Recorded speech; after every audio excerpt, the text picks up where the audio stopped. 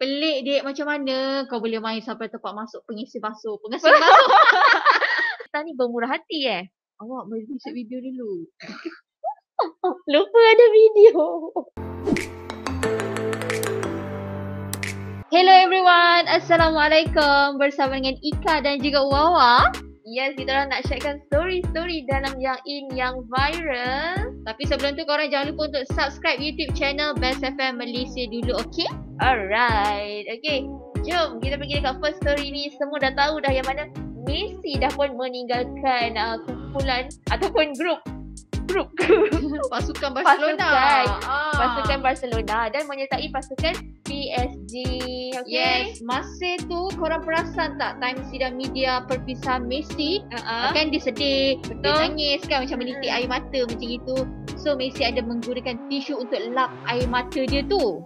Wow, tapi yang best ni kalau korang nak tahulah tisu yang digunakan oleh Messi tu telah dijual ya di laman web online dengan harga 1 juta USD ataupun duit kita ringgit Malaysia ni dalam 4.2 juta ringgit ya. Mahalnya weh. Ada korang nak beli. Kan, uh, tapi itulah. Seller tu siap uh, claim lagi. Dia kata tisu tu ada mengandungi DNA Messi eh yang membolehkan seseorang tu menggunakannya untuk menjadi hebat seperti Messi. Ya, ya, Wow. jawab ni tau. lain macam dia punya apa tinggalkan kesan tu kan. Itulah. Kita nak ke story seterusnya. Baru-baru ni ada viral satu video yang di-share oleh Abang Bomba ni pasal seorang adik tersangkut dekat mesin basuh tempat kering tu. Ya, dan adik tu terpaksa lah uh, menahan kesakitan sementara tunggu bomba tu sampai. So terpaksa lah abang bomba tu potong bahagian uh, yang nak keluarkan adik ni.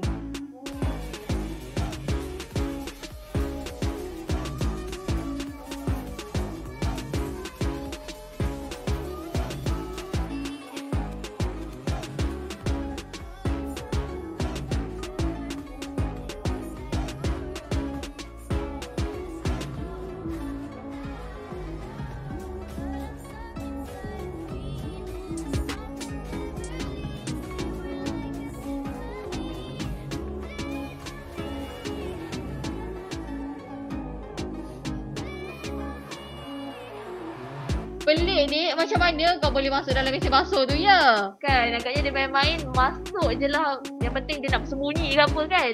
Banyak-banyak tempat mesin basuh yang kau pilih ni. Ada menangis, mak kena beli mesin basuh baru. Tapi, Uh -huh. okay, uh, ada seorang uh, Yang komen eh. Yes, seorang wanita ni dia Ha-ha. komen dia kata dia bermurah hati lah untuk memberikan mesin basuh yang baru untuk keluarga tersebut. Wow, Alhamdulillah. So dah selesai dah mungkin lah masalah mak dia nak fikir macam mana nak basuh baju nanti kan. Itulah okey dan ini dia story kita yang terakhir.